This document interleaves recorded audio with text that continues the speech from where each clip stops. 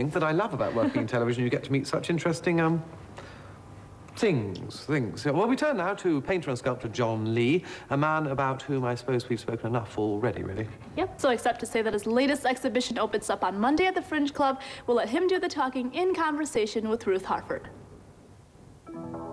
John Li may look like just another artist to you. He's done some great sculptures and more than a pro with the old watercolours, but now he's come up with something new, which can be best described as paper art.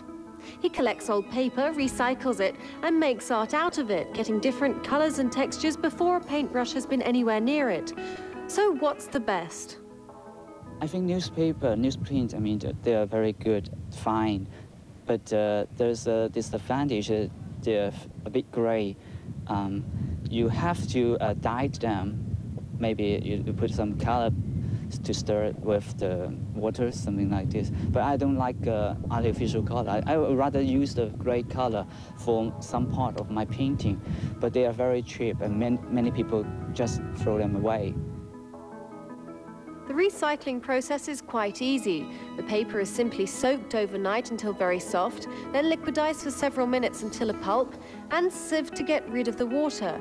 You're then ready to start finger painting, though it's more a matter of moulding at this stage. The excess water is removed with a sponge. It's left to dry, preferably in the sun, for a day, and there you have it.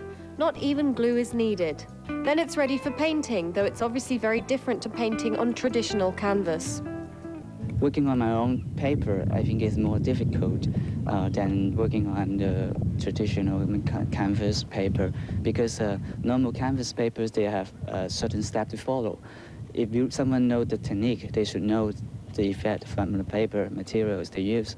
But for my own paper, I have to concern many things, like uh, uh, the paper itself, they have original colors, different colors uh, and different texture.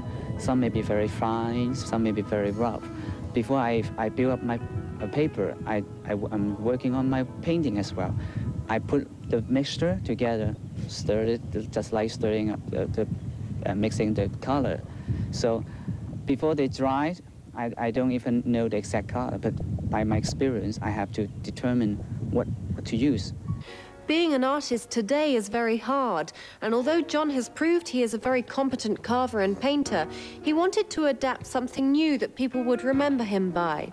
Unless you can do something different, people don't even notice you, so it's important to have your own image. The ideas for his work come from his dreams in simplified forms. The work is very abstract, but he says that the themes are the same, so soon people will recognize his work by the ideas being repeated in varying forms. It's certainly different, but how will it go down in Hong Kong? For me, being an artist, I, I, I can't expect myself too much to, to, trans, uh, to give people something. I just want to keep working on my own. I mean, um, I got a lot of story myself. I, I may doing something people understand, but may not be, that's not important. I think the most important thing is uh, I still working hard, and in the future, people will interested in my works, and that's it. Ruth Harford reporting there. Nice to have Rue back with us again, isn't it? Well, after the break, we have